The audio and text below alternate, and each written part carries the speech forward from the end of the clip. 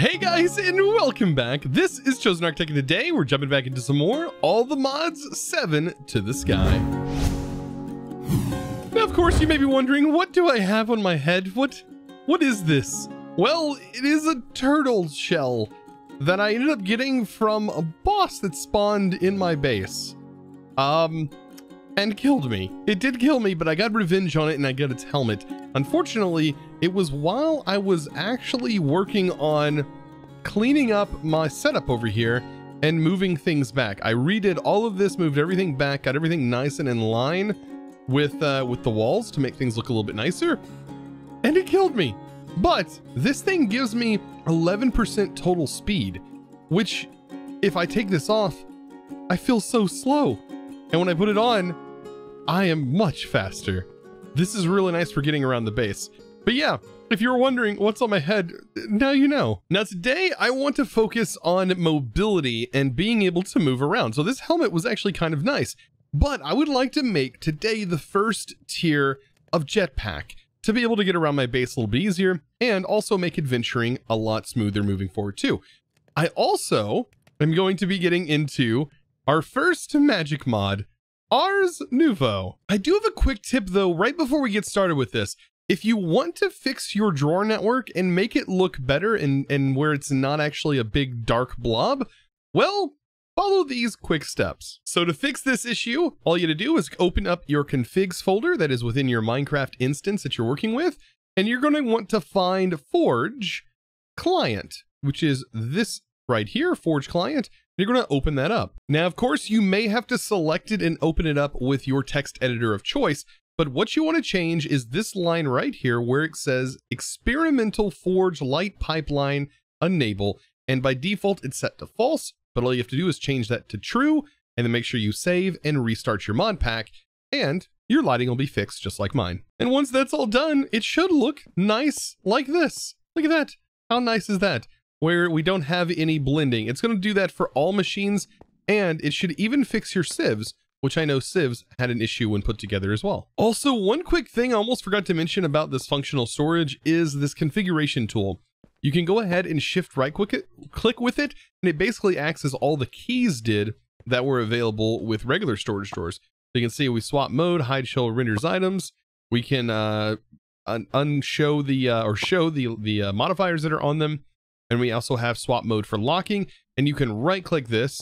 You can see there's no locks. If I right click this again, you notice there's a little tiny lock on there. And now these are all locked, so if we pull all the items out, they'll still maintain their filtered item. Now I mentioned jetpacks, and uh, well, jetpacks are gonna actually require us to get into alloys because they're all based on alloys. Um, and our first starter one is going to start us with bronze, and then we move on to Invar, and Electrum, and Signalium, and then Enderium. Um, these are going to be things that are easily made. At least bronze is going to be pretty easily made. And uh, let's talk about how we're going to, to make this an easy process. First of all, we're going to get into immersive engineering. Well, sort of. All we need is some sand. Actually, we don't need too much of this. All we need is enough to make eight kiln blocks. So eight kiln blocks it is, just like that. And then we're going to need an immersive hammer. Bam. And right here, we have ourselves kiln. Um, and this is a very, very simple, very, very simple machine to set up. So it looks just like this, and then you right click it with a hammer, and it turns it into an alloy kiln. Um, now, this has does some special things.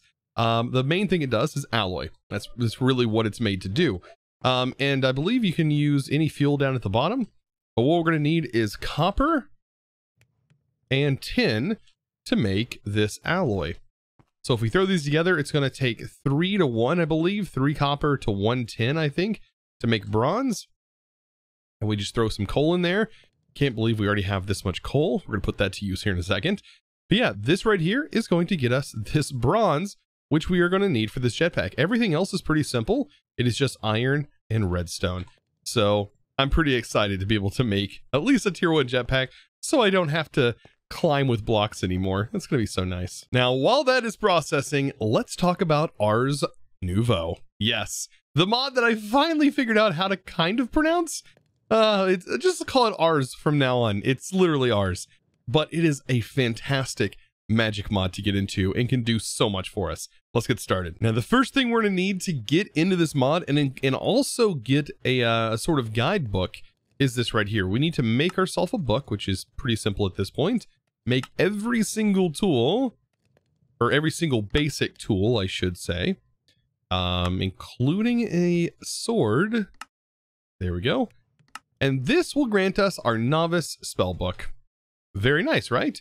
Um, and so by default, it does tell us how to open this up. It says press V to select. Um, I don't think that opens it, but that opens up a guidebook. To open it, we need to set a keybind. I went ahead and set mine to button 4, and then to open that scroll wheel, of course, for us is just to hit V. So let's go ahead and open this book up. Bam. Now, from the start, here's the documentation, which is really nice that it is built in, and there is so much to learn here so much knowledge, the, uh, the wealth of knowledge is all here. Um, but I'm going to show you sort of the kind of fast track way of getting started with this mod. First of all, let's go ahead and make our first spell. Because we do have the ability to do that, let's go ahead and set this to touch, and then we'll set it to break, and we'll name this pick. And we'll go ahead and click create. And now on our first bar, we have pick. And it's going to do exactly what you think it's going to do. It's literally going to break blocks. It is a pickaxe. It is a multi-tool. It works on dirt. It works on this material. It, I mean, it works on wood.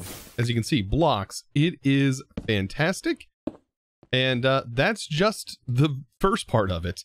Um, if we open this up, we can even make another one right here that is a projectile and break. And this is going to be another break. Uh, we can say shoot to break. We can create that. And uh, this right here, if we select it, will now shoot a projectile that will then break the block. Later on, we can set it up so that way when the block is hit and broken, it also puts it directly into our inventory, which is really helpful for things that are far away. Hey, looky there. Our bronze is all done. Awesome. Now, um, I was talking a little bit about Ars Nouveau. Now, at the moment, we're still kind of stuck at a, we're at a little bit of an impasse because we do need source gems in order to get more into this. I don't know if source gems are going to be something that is available in the Twilight Forest. I'm hoping so. If not, it's going to be kind of confusing getting into this mod. It does say right here, obtained by placing lapis or amethyst in an imbuement chamber, but I'm pretty sure the imbuement chamber requires you to have 500 source at least. And we have no way of getting that yet. Now, in the book, if this is true, it says the imbuement chamber will passively accumulate source for recipes. That's what it says. It says, or draw from source jars two blocks away. If it just passively generates, then I need to get this thing set up ASAP. And to do that, before we make the jetpack, we are going to get this set up. I am going to need, ah, there we go, a market from Farming with Blockheads. All we need is some red dye, which we definitely should have. So now that we have a market, let's go ahead and place this bad boy down. It is, it is kind of a funny thing what this does. So be prepared to laugh. Yep, Swap-O-Matic. How are you doing? And uh, within this, we have tons of stuff we can buy. So many trees of all different types. Ooh, this is a really nice tree. Um, but one of the trees that we definitely need are the ones that are from Ars Nouveau. I'm going to go with the blue one. They're all going to be the same wood type. Put our emerald in and bam, we have ourselves an archwood tree. And I'm hoping this is enough space to grow it. It is. and look at this beauty. This thing is absolutely beautiful. I love these trees. So let's hope that we can harvest it all. There we go. And I need this particular tree uh, for its wood. It requires it for the crafting for the Ars stuff. So let's try it. Let's go ahead and make the imbuement chamber and we're going to see if this is going to work. Now, all I need is lapis to get our first bit of source. And I'm just going to place it here for right now. And it's supposed to passively generate source. As you can see, it's it's kind of doing some stuff right now. I'm going to place that in there. And as you can see, there goes crafting progress. It is actually working. And so this is going to take a little bit of time. And this is how we're going to generate our crystals early on. Now, while that's doing its thing, I'm going to go ahead and get my jetpack on. And uh, so I believe with these, say we need one, two, three, and that's four. So four, eight, eight, nine, 10, 11. So we need exactly 11 of these coils to make a jetpack. And then we need exactly five of these bronze batteries or energy cells, one bronze capacitor, and that is it for this jetpack, other than needing power. Ah, first, is, this is our first flight. Um, and let's see, do we get anything special for that? Just some XP? Very nice. All right, so to charge this up, I can literally toss it in this battery. And it doesn't have a lot of power storage, which is fine. It doesn't have a whole lot, but it's going to get us where we need to go. Now, by default, the engine is off. We have to set up a few configs for this, or a few hotkeys, to turn the engines on, and also turn it on and off hover mode, and also adjust the throttle. Now, by default, the throttle is the comma and period key. Uh, and being able to adjust the throttle is really nice, especially later on when these jetpacks become pretty powerful. So let's see how nice this jetpack is. Look at that. Now, if I toggle on hover mode, it's not the greatest hover in the world. We do descend very quickly. But really, I just want this to be able to get up to high spaces like this.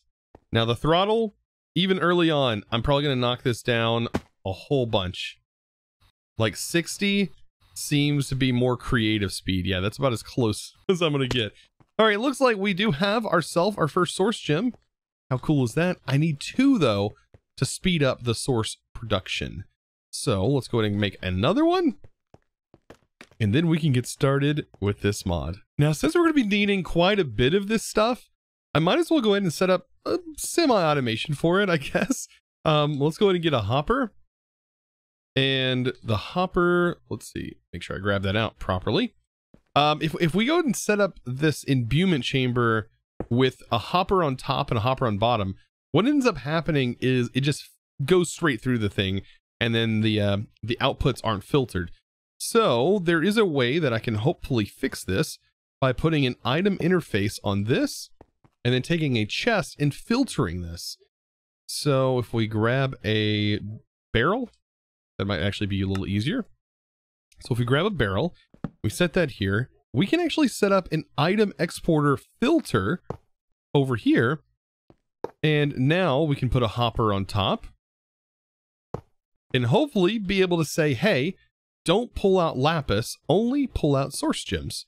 And to do that, let's go ahead and take this. And we also need a variable card from Integrated Dynamics. So let's grab our variable and we will define our variable. And what we will say is item, believe we have to be very specific with this, and we'll say this. And then put the filter in and now the variable card is set to item source gem.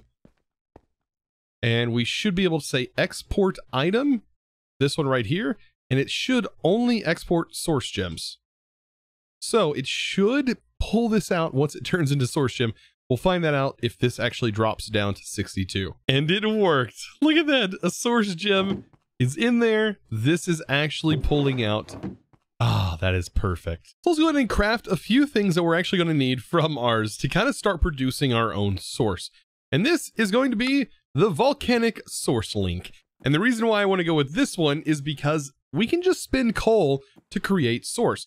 Of course, there are several others that it does mention in the book. There's a couple of different ways that you can generate source. You can look in the book for that. Way we're doing it is going to be with volcanic. Now, I do need another thing and that is an Ars pedestal. Um, and I need this pedestal to be able to feed our uh, our coal to this uh, source link. Also, I'm going to need a source jar. This is how we are going to collect said source. So let's grab a source jar and let's get this bad boy set up. Um, it doesn't take too much to get this going. Let's see, a hopper is actually a great solution. And then we are, of course, need coal.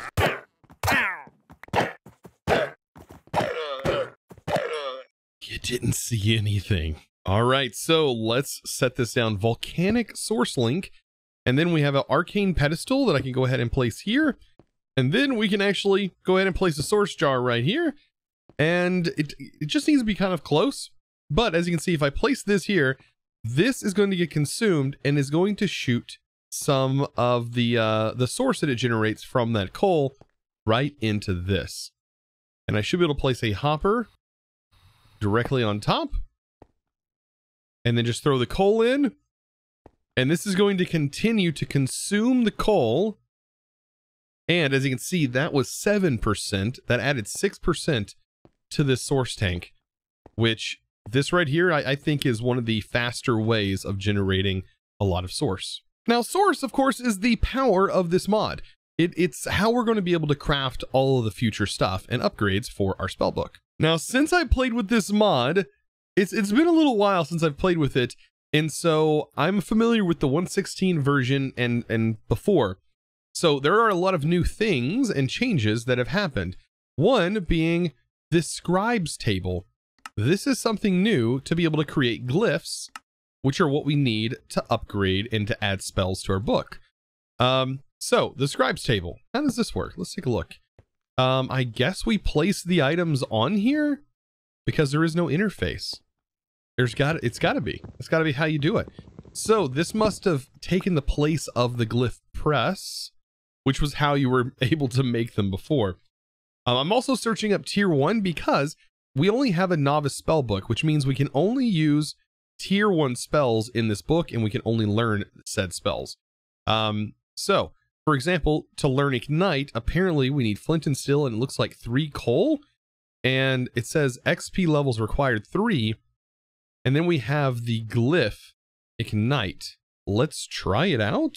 So according to the book, the way that I actually interact with this scribes table is by right-clicking my novice spellbook on it. And we can see here's ignite. And I guess I go ahead and select that.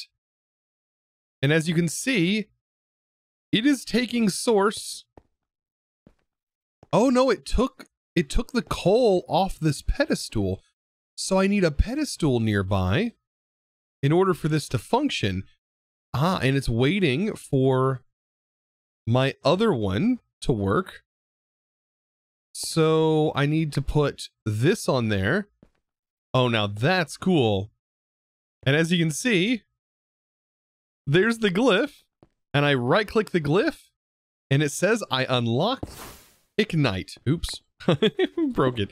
But I unlocked Ignite, which means I can open this up, and now we can create a spell that is Touch and Ignite. And we can call it Flame. And we can change the color of this one as well to orange. Save it. On this, I believe we just hit save. And now, it has some orange particle effects, but it ignites using a little bit of our mana as you can see in our bar in the bottom left. Now since most glyphs require four pedestals and also a little bit of experience as you've seen it does cost some experience um, I'm gonna go ahead and set up the four here. As you can see that should work and there are many glyphs many glyphs to learn. Um, we can take a look these are all tier some of them are tier one these are at least ordered by tier one here and move forward all the way down all the way to tier three to learn. So we can click tier one and we can see amplifying is on there. And then we also, that's going to require a diamond pick and three levels. So we definitely need some way to generate experience before long. Now, of course, I want to be able to learn all of these, but some of the ones that I want right away is, is going to be the item pickup one. So if we go to tier one and I have item pickup, I'm going to go ahead and select that. And now I need to put two hoppers on here. And you can see it's going to select those and finish them out. And I went from 16 to 15. So it's not taking like three levels exactly, I don't believe. Because it didn't seem like it. We'll be able to find out more because I also want to be able to get the light, which is the Conjure Mage Light. Go ahead and do this. It's going to require a torch and a lantern. And we went from 15, so we only lost one level. So it's, when it says three levels, I don't quite know what it's meaning, unless it's means like three base levels and it's going off of something else. But there we go. We have these two that we can learn. And now if we open up our book and I go to four, this is where things are really nice. I could create one where if I touch the position, it will set a light or I can do a projectile and conjure mage light. And then I can make the mage light any color. How about white? and we save. Um, let's see. We'll do, actually, I think we have to save this first. So we'll do project, mage light, and we'll say light. Create. Make sure we set the color, which is to white. And now, when I fire this, we should get some sort of light source where it hits. And of course, there it is. This is the light source, and it's going to go right where I aim it. How cool is that? Now, on the other setup, uh, what I want to do is I want to have this change to pickup. So we can actually modify these. I can have break, and then I can have item pickup afterwards and save, and same for item pickup here, save. And now what should happen is whenever I shoot from a distance to this block, it should pick the block up and put it right in my inventory. This is fantastic. This is why this is so powerful. Now I have one more thing left to do, and that is to, of course, get the drawb or the get the the wardrobe uh, for this mod, which is going to help us a lot. And for that, I need an arcane core.